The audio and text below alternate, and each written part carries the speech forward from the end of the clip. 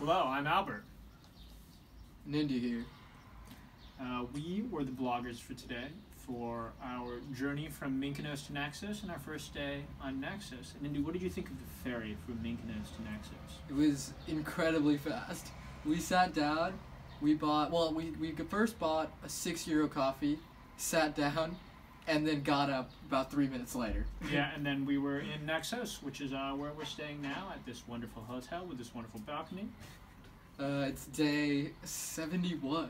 I haven't been counting. I try really hard not to.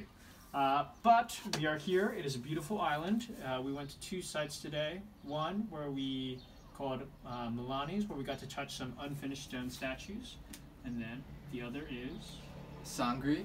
There we had a awesome temple where they basically took every norm of a standard Greek temple and deviated from every single one of them.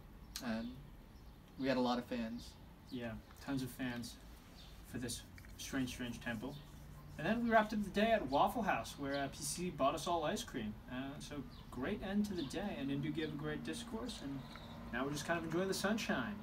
And we're going to hit up a taverna slash pool in a little bit. I don't know what that'll look like, but it should be a good time. I assume it'll involve some olive oil and bread floating on the chlorine. See y'all.